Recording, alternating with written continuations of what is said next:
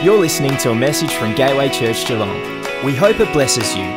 For more information about Gateway, visit gc.org.au. The title of my message this morning is God's Ultimate Intention. Have you ever wondered why God created us? Why did He create you? What purpose? He created us for fellowship. He made us in His very likeness to have fellowship with us. He didn't create us because He felt lonely or He needed you.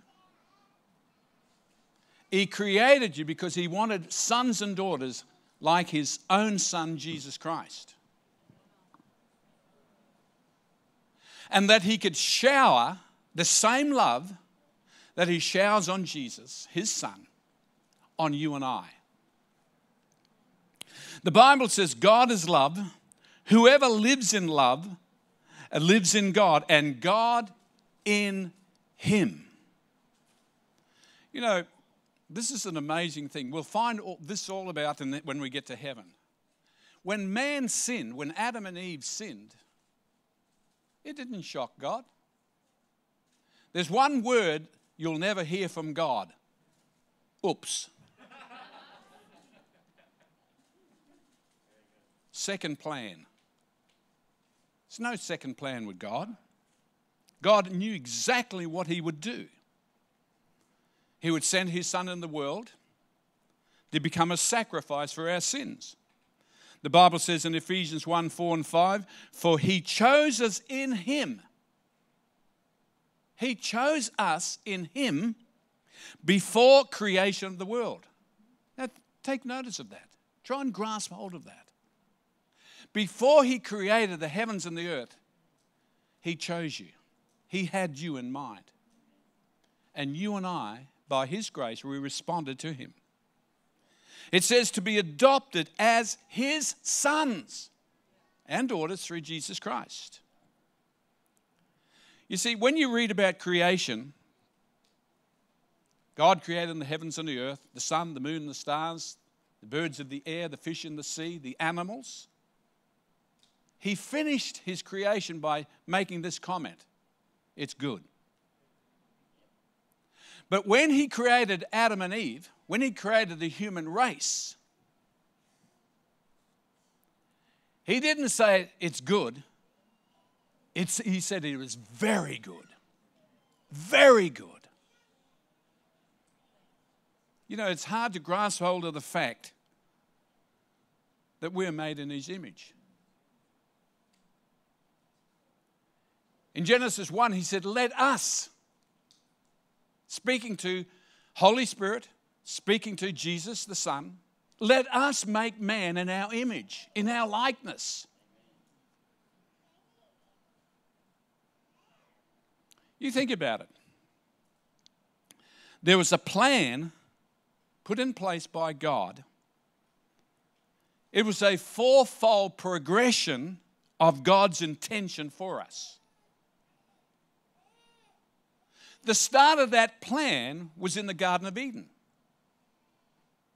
The Bible says he walked in the cool of the day in fellowship with Adam and Eve.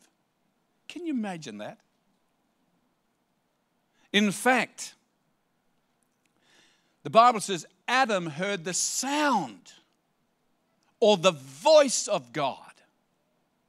The Hebrew word ruach the wind. Had Adam heard that sound? See, God walking has a certain sound.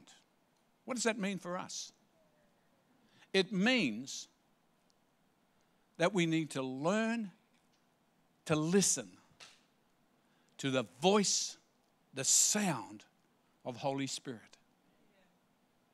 You and I have that ability to listen to Him. So from the garden, he went, met with mankind on the mountaintop. he met with Moses.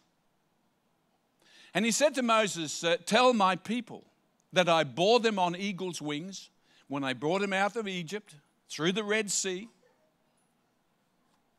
And tell them they're a special treasure to me and that they, I want them to become a kingdom of priests unto me.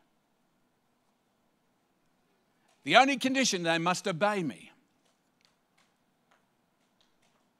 And so we see God's ultimate intention beginning to take place. What was he wanting from his highest creation? Fellowship, relationship. Thirdly, we see that God met with man in the tabernacle in a tent. The tent was called a meeting place. That's where God says, I will meet with you. In Exodus 25, verse 22, and there I will meet with you. And I will speak to you from above the mercy seat, from between the, the, the cherubims which are on the ark of the testimony, about everything which I give to you in commandment to the children of Israel. I'm going to give you, I'm going to speak to you, Moses. Between the wings of the cherubim, I'm going to speak to you. I'm going to fellowship with you. I'm going to tell you what you need to know. And fourthly, God's ultimate intention was to infuse mankind with Himself. He wanted to dwell in you. That was His ultimate divine intention. You are now the temple of the living God and his spirit dwells in you. In Ephesians 2, verses 21 to 22. Well, let's go to, uh, first of all to 1 Corinthians 3, 16 to 17. Do you not know? Do you not know? Many people don't know. Do you not know that you are the temple of God and His Spirit dwells in us. You can say, wow, if you like. It's an amazing fact that His Spirit, Holy Spirit, dwells in this body. In Ephesians 2 21 to 22, and I love it from the Passion Translation, it says this This entire building that's collectively as well as individually, is under construction and is continually growing under his supervision until it rises up completed as the holy temple of the Lord Himself. This means that God is transforming us into the Holy of Holies, His dwelling place, through the power of the Holy Spirit living in us. Pastor Phil, this is basic teaching. Give us something heavy. But do we grasp it? Do we grasp it? Do we take hold of it? Are we conscious of it? That 2022 will be the year that you and I, as God's people, truly grasp this truth of the fact that living inside of this earthen vessel is a treasure. The person of Holy Spirit. He dwells in you. And so, with this in mind, I want to turn your attention to Matthew 21, verses 12 to 16.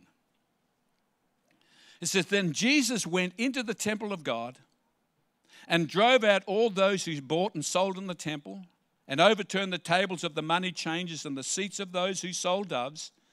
And he said to them, It is written, My house shall be called a house of prayer, but you have made it a den of thieves. Then the blind and the lame came to him in the temple, and he healed them. And when the chief priests and the scribes saw the wonderful things that he did, they said, Praise the Lord. Does it say that? Do you hear what these are saying? They were indignant, absolutely upset. Do you hear what they're saying? And Jesus said to them, Yes. Have you never read out of the mouth of babes and nursing infants, you have perfected praise? Four things that are needed in this temple your body, the dwelling place of God, to become alive and active in 2022. Four things. First, it must be purified. Jesus cleansed the temple. And that's what he does with us. When we offered our lives to him, when we surrendered our lives to him, he cleansed us from every sin, every spot, every stain by his precious blood. He drove out those who bought and sold in the temple because they were misusing the finances, overcharging the finances to the poor people that were coming to, to, uh, to offer sacrifices to God. And when you and I surrender our lives to Him, He first purifies it. In 1 John 1 9, if we confess our sins, He is faithful and just to forgive us our sins and to cleanse us from all unrighteousness. And that's what happens when we gave our hearts to the Lord. Every sin you and I have ever committed, He cleansed it, He purified it. And if you've never experienced this, those that are watching online or here this morning, if you've never experienced it, I pray today you will experience the cleansing of Jesus Christ in your life. The second thing that the temple must have, Jesus said, it shall become a house of prayer. My house not just the physical temple, because this is his temple now. My house shall become a house of prayer. You know, some years ago, a question was asked. And I posed this question to you this morning. What area would you like to grow in this morning? What area this year, 2022, what area would you like to grow? Just think about it for a moment. What's the area you'd like to grow? And that was the question that was, that was posed. Some said, I'd like to grow in faith. Some said, I'd like to grow in the gifts of the Spirit. Another said, I'd like to grow in my preaching ability. Another said, I'd like to grow in kindness, in love, in the fruit of the Spirit, in patience. Anyone like to grow in patience this year? And so the question was directed back to the one who asked, originally asked the question What area would you like to grow in? And he said, I'd like to grow in prayer. And that really caught hold of my attention. So, what is prayer? Prayer is talking and listening to God. Not just talking. You ever talk to people that just talk and never listen? It's talking and listening. I like what John Wesley said. He said, uh, Prayer proves your dependency on God. It's the John 15 principle. Apart from you, I'm nothing. You are the vine, I am the branch. I've been engrafted in the vine, and the goodness that I may portray in my life came from you, not of myself. And so my dependence is on you. Another comment he made was God does nothing but an answer to prayer. He does nothing unless you and I pray. You have not because you ask not. This is the confidence that we have in Him. That's what God wants to build in us this year a confidence. This is the confidence that we have in Him. If we ask anything according to His will, that's a key. He hears us. He hears us, and we have the petitions that we ask of Him. You know, um, many years ago, I, uh, we recently came out of a traditional church in the Pentecost, and then going to a prayer meeting was a surprise and a half, particularly a Pentecostal prayer meeting. But I remember sitting behind this lady. Her name was Beryl Peterson. And she knew how to pray and touch the heart of God. You felt it as she was praying. And um, I said, how, I thought to myself, how can I pray with such passion and such assurance that this woman has? What do I do? How do I do it? She's using the Word of God in Scripture to bring out her prayer request, to back up what she requested.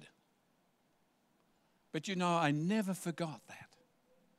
And it started me on the journey in my prayer life, and I'm still on that journey. You know, some people find it hard to pray. Maybe some here you find it hard. Maybe someone online you find it hard to pray. But simply put, prayer is talking to God, sharing your thoughts. Have you got a good friend? That you talk to, you open up, you share, you share. You don't share all the good things that, uh, that happen to you, you share sometimes the struggles. Sometimes the challenges that you have in life, you share with your friend. That's exactly what you need to do in your prayer life. Just talk to God. Tell Him how you feel. But tell Him that God, with your help, I know you can bring me through this. You see, Jesus was a man of prayer. He said, I only do the things I see the Father doing. How could he say, make a comment like that? Because he spent time with the Father in prayer, sometimes all night, sometimes early in the morning, throughout the day. He'd just be walking with his sobs and be praying.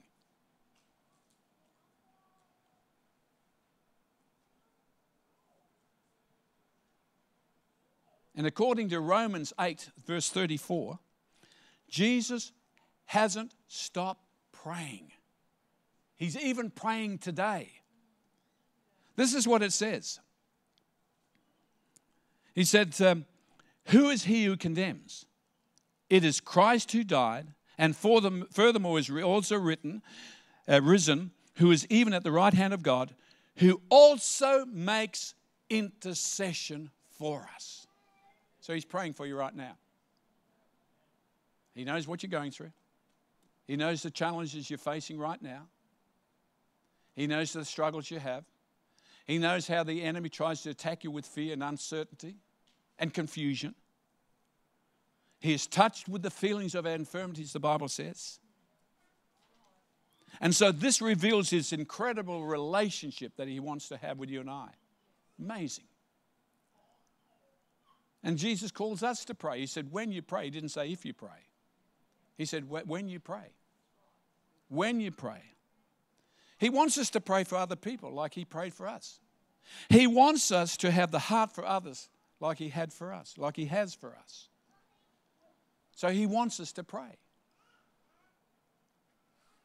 And so we see here, thirdly, about this house, His temple, His dwelling place when this house becomes a house of prayer, listen to this, it be, then becomes a house of power.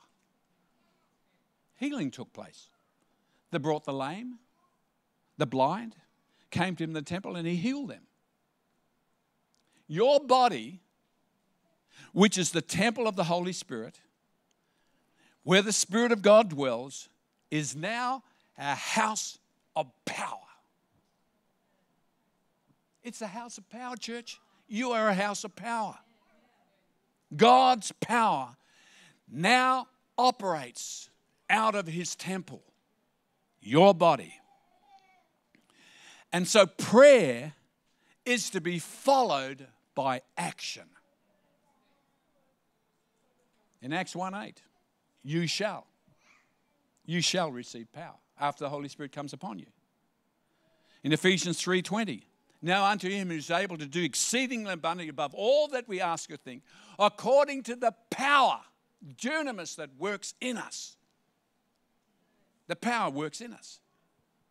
In Luke 9 1, he called his disciples together and gave them power and authority over all the devils and, and to cure diseases. He gave us power. In Mark 16 17, and these signs will come to them that believe. In my name, they'll cast out demons.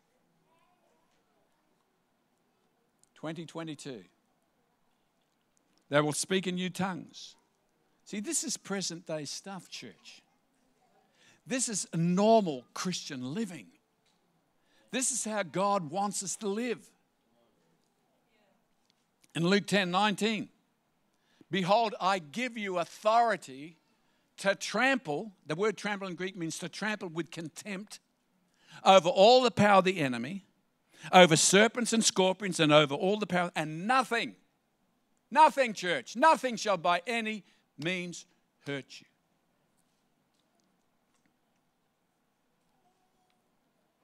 Last year, 2021, when we were in Adelaide, three ladies wanted to, me to share a word with them. I knew them from the past. Pastor Derek from Horsham, who's now in heaven, was their pastor. They were intercessors and they asked me to share with them. And the course of conversation and course of sharing the word with them, they asked me to pray. And three of them were delivered of things that had happened in their past. One who uh, about age 70, God reminded her, brought to her attention something that happened when she was two years of age. Another lady, the same thing. Something happened in her childhood. Another lady, same thing. Totally set free, delivered. A guy came up to me in church and he said, uh, Can I catch up with you? And I said, Yeah. And he began to open up to me about the struggles that we're having, something that he had struggled for 20 years. He couldn't break it for 20 years. He could not break this for 20 years. And it put a lid on him. It limited him, it controlled him. And when I shared with him, Holy Spirit showed me what to do, and he was totally delivered, set free. Then he said to me, he said, you know, God said to me for you to ask me, to ask you to pray for me for the baptism of the Holy Spirit. I said, I'd love to. He was filled with the Holy Spirit and spoke in tongues. If you've never been filled with the Holy Spirit and speak in tongues, today, today can be your day. Two families invited us for a barbecue. And after, the, after we had eaten, had eaten, we, uh, they asked us to pray for the, the children for the baptism of the Holy Spirit. One had two sons, the other had a son and a daughter. Each one of them were filled with the Holy Spirit and began to speak in tongues. As the Spirit, not fill, as the Spirit gave them utterance.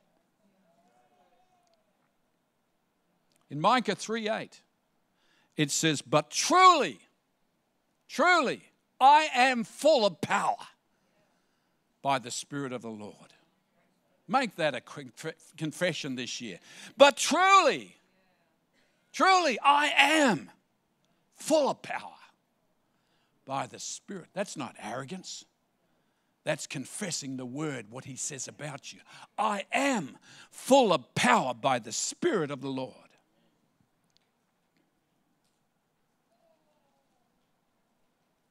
Three weeks ago. Just uh, taking my bin, my rubbish bin back into the backyard, and I saw this lady on the footpath. I said, Hi, how are you? And she came up to me. She said, Oh, listen, my husband is very sick. Really sick. Cancer. I said, Do you mind if I pray for him? She said, Yes, please. So I went uh, with her. He was in his car. So I began to share with him. I said, I heard you were sick. I said, um, Do you mind if I pray for you? He said, Yeah, okay. And I began to share the gospel with him, which you would do normally before you prayed for him. I shared with him about the Lord Jesus Christ, and I said, Because we, uh, at this Christmas time, it'd be a good time to remember why Jesus came. And so I was able to share very briefly, very simply, the gospel of Jesus Christ. And I said, I'm going to say a prayer of invitation, of inviting Jesus Christ to cleanse us from all sins and so on. If you'd like to say this prayer after me, you can say it inside in your heart or you can say it out. So I said that prayer. And then when I finished, I said to him, I said, uh, Did you say that prayer? He said, Yes, I did. Surprisingly, I did. And uh, I said to the wife, I said, Did you say that prayer? And she said, I did. So I've been in touch with them. I've gave, given them a Bible. I've shared with them. But because one day, by God's grace, we will meet together in heaven. But here's the qualifying factor it all came out of prayer. Prayer, then power. Prayer, then power. The last thing that God wants his house to be is a house of perfected praise. From purity to prayer to power to perfected praise. So, what is perfected praise? Perfected praise, I did ask the Holy Spirit, I said, Holy Spirit, please, what would you say is perfected praise? And these thoughts came to my mind, and I believe it was from the Holy Spirit. He said, When your total focus of attention is on the one that you're worshiping and praising, that you're not allowing yourself to be distracted by the things around you, in front of you, behind you, in, in the side of you. You're totally focused on the one that you praise. You refuse to entertain the thoughts. You refuse to listen to the arguments. You, re- you refuse to listen to what the devil is trying to tell you. That is perfected praise. And we find that Jesus actually quotes this from Psalm 8, verse 2. And listen how he says it in Psalm, David says in Psalm 8, verse 2 Out of the mouth of babes and nursing infants, you, you have ordained strength. Jesus changed it to perfected praise. Ordained strength because of your enemies, that you might silence the enemy and the avenger. Ordained strength of praise silences the enemy and Jesus called it perfected praise. Our praise may not always be clear or even sound eloquent, but by the time it reaches the ears of the Lord Jesus Christ, it's been perfected. It is this praise that shuts the mouth of the enemy. When your house is a house of praise, your enemies never feel safe anymore. They wonder what's going on. This guy's crazy. What is happening? You know, Dick Mills comments, he's a great preacher, he's with the Lord now. He said, when he had a difficult decision or a challenge, he would put two, two chairs in the room and say to the devil, Sit down and watch me pray and worship the Lord Jesus. Sit down and watch me pray and worship the Lord Jesus. Four things I encourage you to bring into 2022. I call it the four P's. Your body, His temple has a role to play in 2022 that'll bring honor and glory to His name. A house of purity, let's walk in purity this year. Let's walk in holiness this year. Let it be a house of prayer. And from the house of prayer, it becomes a house of power. And from a house of power, it'll become a house of perfected praise. Let us endeavor, I encourage you, as well as myself, to put these four things into operation in our lives. Father, in the name of Jesus, we thank you, Father God the ultimate intention that you had was to infuse mankind with yourself. And Father, we thank you that we are the temple of the living God and the Spirit of God dwells in us. You know, you may be here this morning or watching online and thinking, I'd like this house, my heart, to be cleansed. I'd like to know the peace of God. I'd like to know that my heart is purified. Well, you can. And the Bible says in Romans 10 9 and 10, if you confess, so if you confess with your mouth, Jesus is Lord. In other words, you're saying, Jesus, I want you to be Lord of my life from this moment on. And you believe in your heart that God raised him from the dead. The Bible says you will be saved. We're going to pray a prayer, and I want you to follow me in this prayer. Maybe those in the congregation here, if you can follow me, and those online, why don't you pray this prayer after me? Dear Heavenly Father, thank you that you sent Jesus Christ, your only Son, to die on the cross for me. I ask you, Lord Jesus Christ, to cleanse me, to purify my heart from every sin. I invite you into my life to be Lord of my life. And I confess you as Lord. And I believe now in my heart that you were raised from the dead. From now on, this day, I surrender my life to you. I belong to you, and you belong to me. Thank you for hearing my prayers. In Jesus' name, amen. You know, we want to help you in your Christian life, in your Christian journey. Christian, Christian life is a journey in getting to know God who saved you. And so if you were able, if you turn to uh, gc.org.au forward slash first steps, gc.org.au forward slash, slash first steps, I'll show you how we can help you in your Christian journey in the Lord.